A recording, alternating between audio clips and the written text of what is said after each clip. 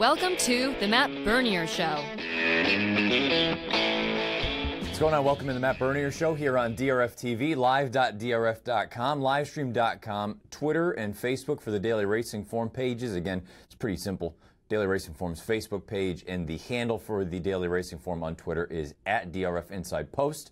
My name is Matt Bernier. You can follow me on Twitter at Bernier underscore Matt. If you listen to this show podcast, you've got YouTube, SoundCloud, iTunes, video.drf.com. You've got a bunch of ways to find this show. Today is September the 22nd. We are moving along through the month of September, almost into October, which means we are coming up and closer and closer to the Breeders' Cup World Championships, first weekend in November down at the Del Mar Thoroughbred Club. And as we've done over the past handful of weeks here, we're going to kick things off talking about some divisions and kind of given a little bit of a top five as is currently stated and constituted. You know, obviously things change, injuries or whatever it may be, poor performances, but I figured today, why not dive into the, the fast horses, the quick ones, the sprinters. We'll see. They're going to go six furlongs on the main track down at Del Mar. We've talked about how the track at Del Mar has been a little bit wonky. You know, certain horses have taken to it, certain horses haven't with some of these horses, it's going to be the first time that they've set foot on that racetrack, so you're not going to know until they actually get there. The only good thing is, most of them, you're going to at least get some works or some gallops over the main track before during the week. So Maybe you do get a, a, final workout down there, but at least you'll get an idea of whether or not they seem to be comfortable over the racing surface or not. Uh, so let's dive right into it. As we have, it's going to be reverse chronological order. I'm going to go with the top five. I'm going to start with number five for me anyway, is Imperial Hint. And we're going to take a look at his most recent victory. This was in the Don Levine Memorial down at Parx. And as you can see, he's on the front end and he's in complete cruise control right now. As we borrow the graphic and the uh, replay from out of the gate from a few weeks back, this was one of Dan Illman's horses to watch. And unfortunately, we're not going to see him run again until the Breeders' Cup, barring some sort of drastic change. You see him right now absolutely burying this field. Visually, he's fantastic. Um, the question is, he, they haven't really tested him much, and I understand he they were going to go to Dubai, and he got sick, and unfortunately for the connections, they had to kind of nix that plan. But ever since he's come back, I know he won that race down at Gulfstream. I believe it was the Smile Sprint. That was a win, and you're in for the Breeders' Cup. And then he came back here, but he hasn't faced the best of the best, and it is always one of those dangerous things. Do you look awesome beating subpar competition, and what happens when you face really good horses? Do you still look that good? Um, I have a sneaky feeling he's really, really talented. The only reason I have him this far down the list, number five, is simply because, again, he's training up to it. That feels like really, you think about it, it's going to be about a two month layoff because that race was Labor Day weekend. And you're going to be training up to that position, the biggest race of your life against the best horses you've ever faced across the country. There's a lot of things there that I, again, I think he's really, really talented, but that's why I have him down on the list where I do at number five. Number four is going to be a bit of an odd one that I'm sure some people are going to look at and say that's a ridiculous thought or ridiculous notion. I'm going to go with Takaful here, or Takaful, however you want to pronounce it, and we're going to take a look at the King's Bishop, and now it's known as the Al- H. Allen Jerkens. This is his most recent start. He's on the lead right now, and he's going to pay the price, unfortunately, because you're going to see Practical Joke come and run over the top of him. But the big thing is, the fractions in this race were electric 22 and 1, 45 flat, going 7 eighths of a mile, 109 and 1. I love the way this horse moves at six furlongs. I'm not saying that he can't win at seven, and look, he got run down by a really talented horse. I think he has the kind of speed early on that if you just let him go, and I don't know that they're even considering the Breeders' Cup. I would assume they are, and I hope everything is well, and hopefully we see him in a race like the Vosburgh or something else here in the next few weeks. But six furlongs, man, that horse has got some unbelievable gas early on. And I, that's the kind of dangerous early speed to me that in a race like the Breeders' Cup Sprint, I think a few years back to work all week, he went out there at Santa Anita, he set ridiculous fractions, but he kept going, he kept finding. That's what some of the best sprinters do. They're fast early, they go to the front, and they just continue to go on. Think of a private zone, think of a Runhappy. Um, I think he's a really, really talented horse, no question about that. Nobody can argue that. I just wonder if they're going to get here. It's going to be the biggest test of his life. I think he's really talented, and I think he could be a dangerous one if they do get there and he's going into it in fine fettle. I think he's interesting. Takaful is my number four horse as far as the Breeders' Cup Sprint top five is concerned. Number three is a horse called Ransom the Moon for Phil D'Amato. Ransom the Moon, his most recent start came in the Bing Crosby, and the Bing Crosby we're going to take a look at right now. He's shooting up the inside because unfortunately Drefong is out there basically riderless because he dumped Mike Smith early on. Ransom the Moon had everything go perfectly for him in this spot. He had Drefong dump the rider. He had Roy H get floated out very, very wide, and he got a beautiful trip underneath Flavien Prat. I think this is a really talented horse, Ransom the Moon, but there's a part of me that looks at that race and says he had everything go his way. Chances are that's not going to happen in the Breeders' Cup. I think he's super talented. I think he's a major horse that you've got to consider as a contender.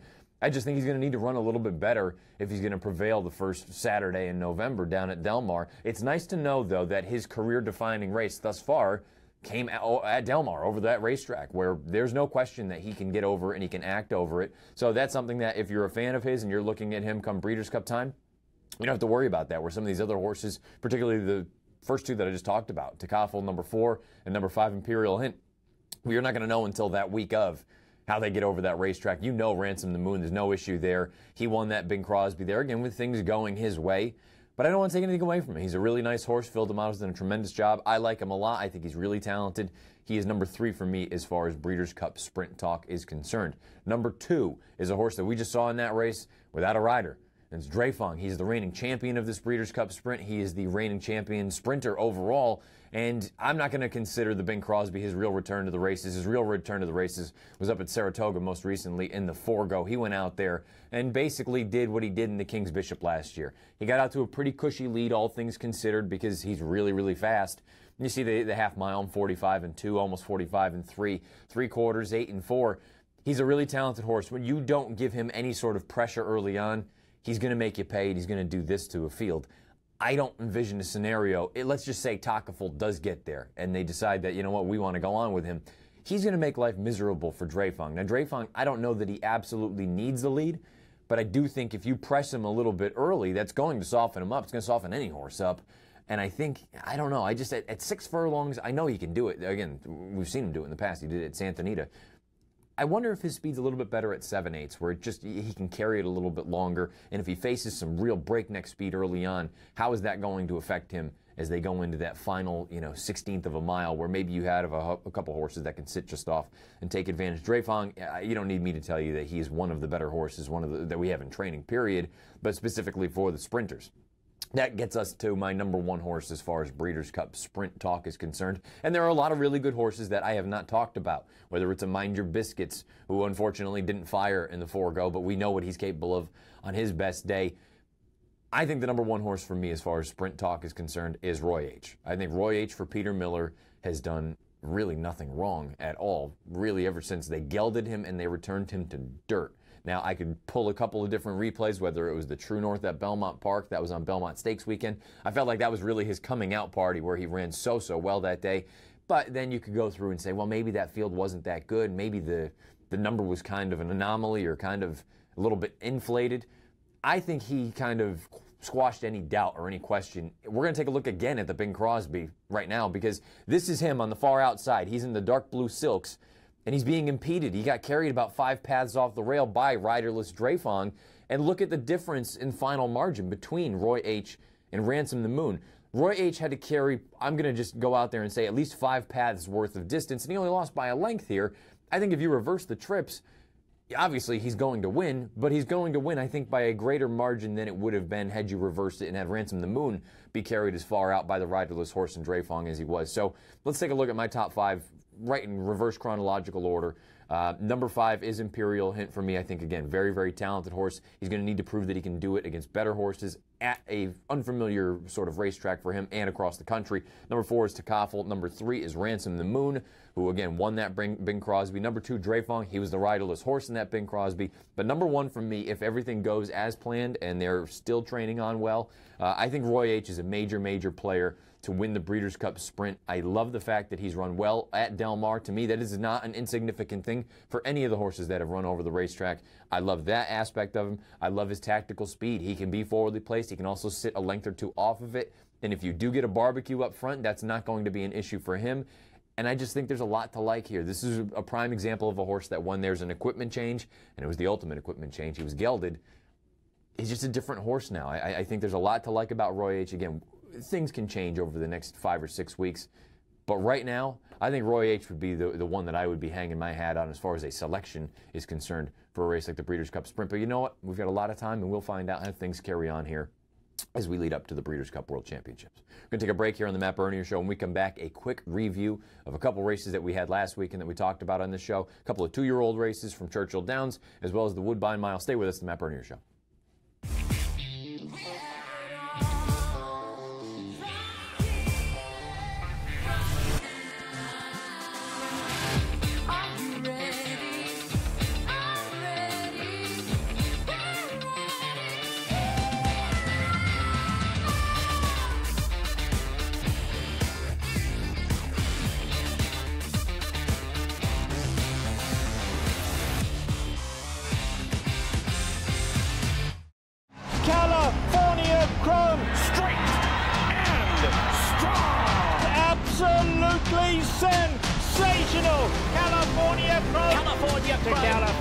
Chrome. All the way to the Kentucky Derby. California Chrome wins impressively. He's gone into overdrive. California Chrome wins the Dubai World Cup. One of the greatest performances you'll ever see. Chrome turns to gold. Say goodbye to your inner caveman. If you're making caveman bets on pick sixes, you could be leaving money on the table. DRF Bets Ticket Maker helps you build more profitable exotic bets and place them with one click. Raise your game with DRF Bets Ticket Maker. Be a samurai with your ROI. DRF Bets Ticket Maker helps you cut out unprofitable exotic bets before they happen and be the master of profits. Raise your game with DRF Bets Ticket Maker, the exotic wagering app. Well, the amazing thing about Outwork was just how similar he is to Uncle Mo. I mean, right away, of all of Repole's babies, he stood out as the most advanced, the most precocious, and the most talented. And that was exactly the same thing we'd seen a few years before with Uncle Mo. Outwork wins it for John Velazquez. To be able to win a grade one like the Wood Memorial in only his fourth lifetime start was very impressive. It is Outwork in front.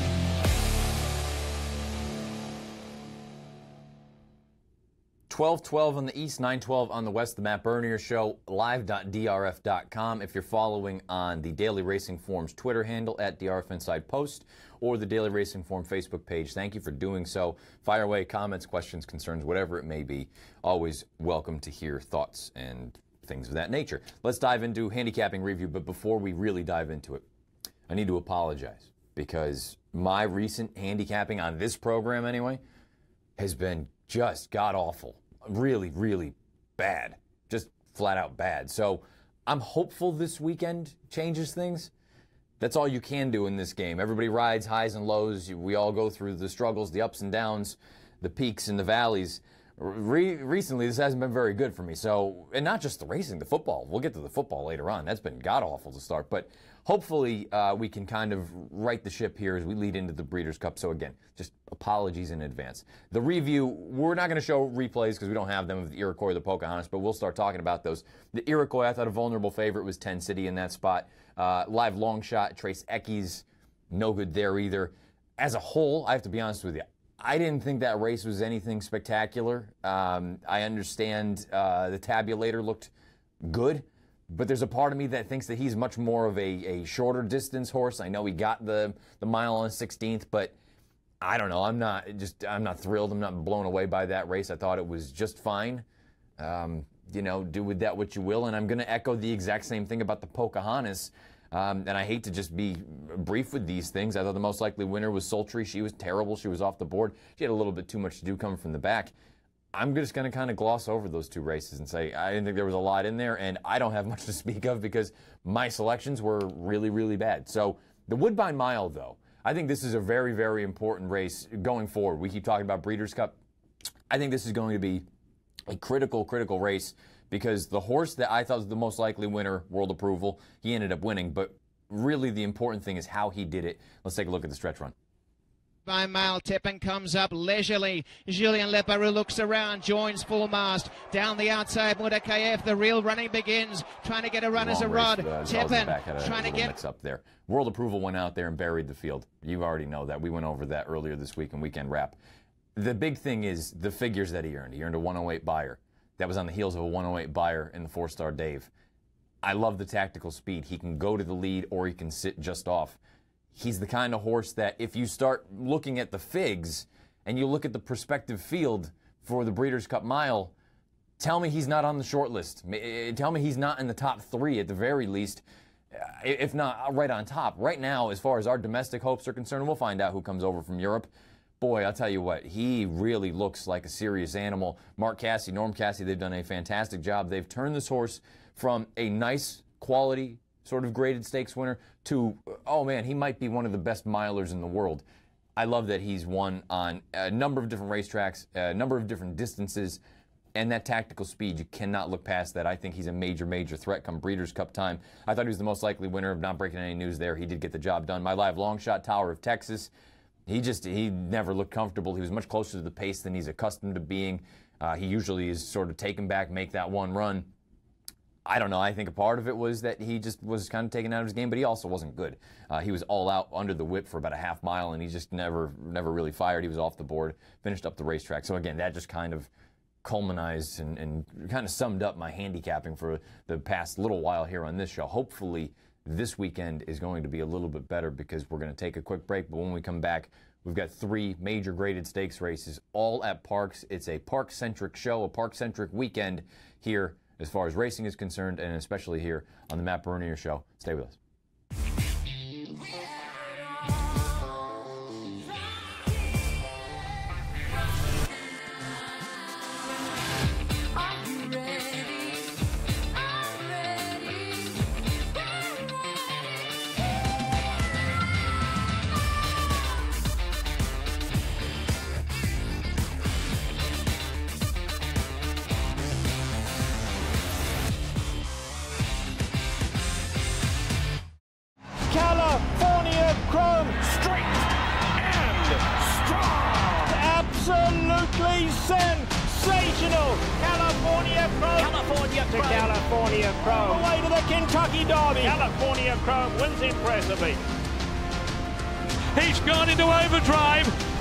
California Chrome wins the Dubai World Cup. One of the greatest performances you'll ever see. Chrome turns to gold. Say goodbye to your inner caveman. If you're making caveman bets on pick sixes, you could be leaving money on the table. DRF Bets Ticketmaker helps you build more profitable exotic bets and place them with one click. Raise your game with DRF Bets Ticketmaker. Be a samurai with your ROI. DRF Bets ticket maker helps you cut out unprofitable exotic bets before they happen and be the master of profits.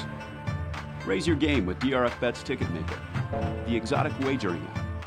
Well, the amazing thing about Outwork was just how similar he is to Uncle Mo. I mean, right away, of all of Repole's babies, he stood out as the most advanced, the most precocious, and the most talented. And that was exactly the same thing we'd seen few years before with Uncle Mo. Outwork wins it for John Velazquez. To be able to win a grade one like the Wood Memorial in only his fourth lifetime start was very impressive.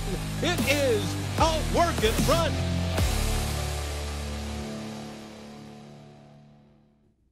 1218 on the east, 918 on the west. The Matt Bernier Show, live.drf.com here on DRF TV. Let's dive into it. And again, let's get out of this rut as a whole. I hope I haven't weighed anyone down if you've been paying attention. And guess what? You probably have been making a ton of money if you've been fading everything that I've said. So I'm going to hope for my sake that things turn around right now.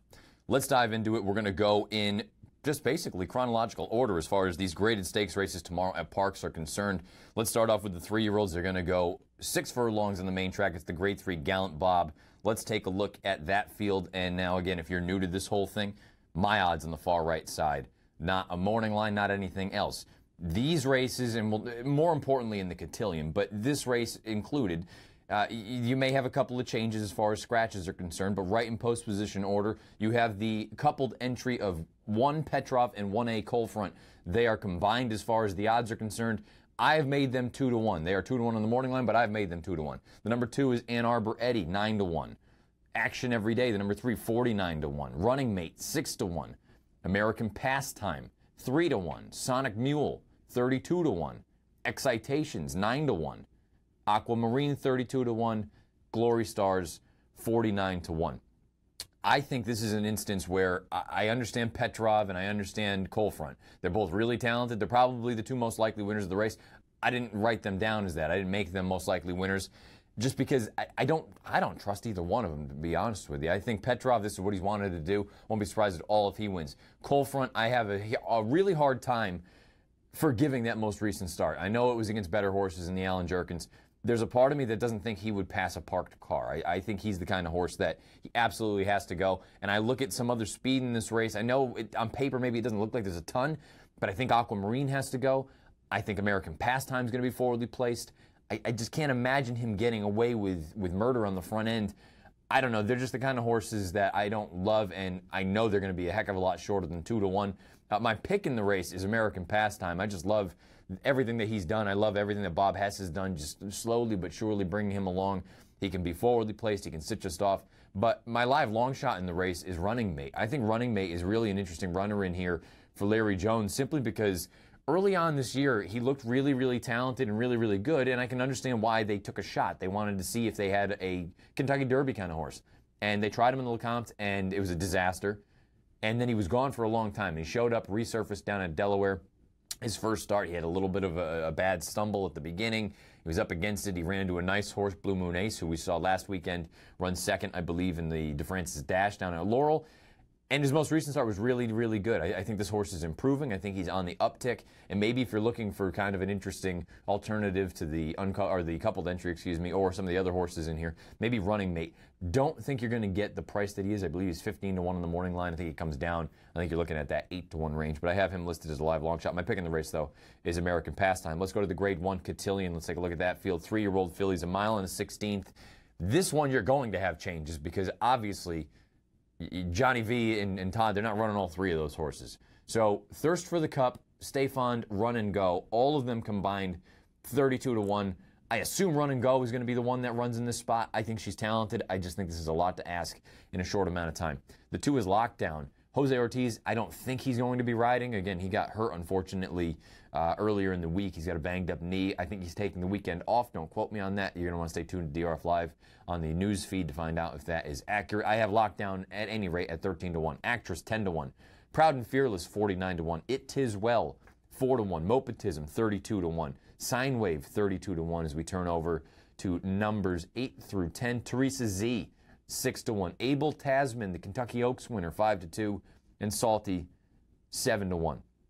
I think the most likely winner of this race is Abel Tasman. We're going to take a look at her coaching club, American Oaks. This was her most recent race, and it was up at Saratoga. And you're going to remember, recall anyway, that this was that race where there wasn't a lot of pace signed on early, and Mike Smith took the initiative and made that big brush down the backside, went to the front, and she held off it late. And I think look, a little bit of race riding went a long way. I think Elate got a little bit intimidated down on the inside. Elate is coming along, though, and you can see Salty tried to run on from the back of the pack as well.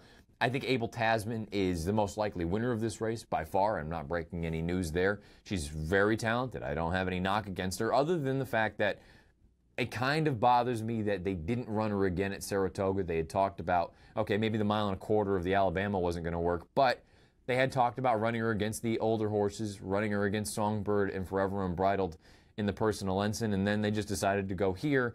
She has a little bit of a, a gap in the workout tab. I, I, understand entirely. It's a million dollar race and it's another grade one. She wins this. She is a 100% slam dunk for three year old champion filly, I just, I don't know. I, I know she's not going to be five to two. She's going to be odds on in this spot. And if she wins, great. I'm not going to be surprised. And I think there's a, a small opportunity to take a shot against her my pick in the race, and I'm not calling her anything because she's not really going to be any sort of giant price, but I think It Tiz Well has a legitimate chance to upset the apple cart. A live long shot, though, that I almost picked is Teresa Z. We're going to take a look at her victory in the Monmouth Oaks. And this is her on the far outside. She's rolling now, and she's been under an all out drive. But I just love the way that she levels off and finishes this thing. She puts the field to bed. She's going to extend and win by a few lengths at this point at the very end. So I think this is a really up and coming horse. And I do wonder, it's interesting to note that these past two races for her have come without blinkers. And I wonder, maybe it was just a situation where she needed to grow up a little bit. The blinkers came off. And now she's taken that giant step forward that so many people clearly from price tag, I believe she cost over $600,000. Maybe that's all it took was take the blinkers off and she's going to take that step forward. I think she's a, a very, very live long shot in that race tomorrow afternoon, the Grade 1 Cotillion for three-year-old fillies. Let's move on to the co-headliner, but in many aspects, it is the headline event tomorrow afternoon. It is the now Grade 1 Pennsylvania Derby for three year old males. Let's take a look at that field. You've got a field of 10 going nine furlongs, right in post position order. The number one timeline, 9 to 2. The number two is Outplay, 13 to 1. Watch Me Whip, 49 to 1. West Coast, your Travers winner, 2 to 1. IRAP, 4 to 1. Talk Logistics, 99 to 1. No disrespect. The number seven, Game Over, 32 to 1. Irish War Cry, 6 to 1 as we turn over numbers 9 and 10. Term of Art, 99 to 1. Giuseppe the Great, 49 to 1 as uh, you can find this, this is the formulator race of the day as well. You can find free formulated past performances on the race of the day page. Uh, if you needed any sort of like uh, duh moment, the most likely winner of this race is West Coast. We're going to take a look at his victory in the Travers. This was a few weeks ago up at the Spa. You see IRAP. He's in those familiar Reddam silks, and he's trying. He's trying. The problem is at this point, West Coast is actually going to extend here. Now, maybe the, the turn back in distance is going to be beneficial, and maybe that kind of levels the playing field a little bit. It's also worth noting from a dynamic standpoint, West Coast went right to the lead here in the Travers when he put on this show. He's not going to make the lead in this race. I think he's the most likely winner, but he's going to need to display, and he has shown in, in the past that he can sit and pass horses, but I think he's going to be facing a pretty talented field in here. I don't have any real live long shot in here. I think IRAP is a main contender. My pick in the race is Timeline. I'm fascinated to see what we get from him. But if we're just calling a spade a spade, the most likely winner of this race by a pretty significant margin is West Coast for Bob Baffert and Mike Smith. And they've got that obscene formulator fact that we threw out there in the race of the day video. You can go over and check that out as well. Let's talk about NFL Week 3 trifecta. Just as bad as my horse handicapping has been recently, uh, my first two weeks with the NFL has been god awful. Uh, one in five one in five from six games. So we need to get on the right track here and start putting something together. Because right now, right now, 52% looks like a complete pipe dream. That that ain't gonna happen. The good thing is it's early enough. Heck, I'm not saying that I even want three and zero. I'd love three and zero, but give me two and one out of these three games, and I'll feel good. Let's start off Atlanta Falcons at the Detroit Lions. Detroit is plus three at home. You know, you know, I've said it here in the past. I am a sucker for a home dog. And I think the Lions are actually okay. I know they faced the Giants, a team Monday night that I thought I clearly was wrong about. I thought they were going to be a legitimate sort of playoff contender. They look like hot garbage right now. The Lions, I think they're actually okay. At home, give me the points. I've been against the Falcons last week, and I just in general, I don't think they're going to be as good as they were last year. But guess what? Thus far, they haven't done anything wrong. Um, I know that first week against the, the Bears, maybe it was a little bit closer than, than for comfort anyway, if you're a Falcons fan. I think they're really good, but I think the Lions are sneaky good. And, and if you're going to give me three points at home, give me the Lions plus the three. The second game, the Cleveland Browns are favored. They're at the Indianapolis Colts, Colts plus one and a half. Uh, I'm sorry, I, I can't back the Browns as a favorite in any circumstance. They still don't have a quarterback, in my opinion. I know Kizer is a little bit better. Um, but Corey Coleman got hurt last week. He's got a broken hand. He's out for eight weeks or something crazy like that. And maybe there's a little bit of, of Patriot fandom in me. Like, I'd like to see Jacoby Brissett kind of right the ship. That whole team, that whole game last week in the Colts and the, and the uh, Arizona Cardinals, that was a dumpster fire. That was a really, really gross game to watch. But I'd like to think that Jacoby Brissett, maybe, I mean, he's certainly better than Scott Tolzien. We know that. Um, I'm going to take the Colts at home. Give me the Colts plus one and a half. Again, home dog. Give me the points. I have no problem taking that. Give me the Colts plus one and a half over the Browns. And the third and final game for this week's NFL trifecta for week three. The Raiders are on the road at Washington. It's that whole west going east thing. I think Oakland's a, a talented team. They're probably one of the top three or four teams in the NFL. I think people are down on Washington, and I don't know that. I don't look. They're probably not a, a playoff team, but they're not as bad as a lot of people are making them out to be. Uh, Cousins is just trying to figure things out. He's got a, basically a completely new cast of, of characters that he's thrown the ball to, maybe the exception of Jordan Reed. I don't know. I, I think Washington's actually not terrible. They're getting three points at home. The night game. The Raiders are coming west, or coming east, excuse me. I don't know. I, I just, it's a situation where if you're going to give me points at home, as I've said a million times, I'm a sucker for a home dog. Give me the Redskins plus three at home. So a quick recap. Falcons at Lions. Give me the Lions plus three. Browns at Colts. Give me the Colts plus one and a half. And the Raiders at the Redskins. Give me the Redskins plus three. One and five to start the season. Not how we had hoped it would go, but maybe we can right the ship here starting in week three. It is 12:30 on the dot here on the East Coast, 9:30 on the West Coast. Uh, if you've been watching this show, thank you for doing so. Whether it's on live.drf.com livestream.com, or if you're checking it out social media wise, we have at DRF Inside Post. They have that on their Twitter page. That's the Daily Racing Form Twitter handle, as well as the Daily Racing Form Facebook page. If you check it out after we do this thing live, you've got YouTube, SoundCloud, iTunes, and video.drf.com. Best of luck wherever you're playing this weekend. We'll talk again next Friday. We'll have some other things that we'll go over. Uh, and it's actually going to be a road game for me. I'm going to be doing the show from Maine. So it'll be, may not have actually any of the cool graphics or anything, but it will be an abbreviated show, but there will be a show. Fear not. And as we always do here on this thing, we're going to throw it right into the latest edition of Out of the Gate. Best of luck this week and enjoy the Pennsylvania Derby. Talk again next week. Out of the Gate.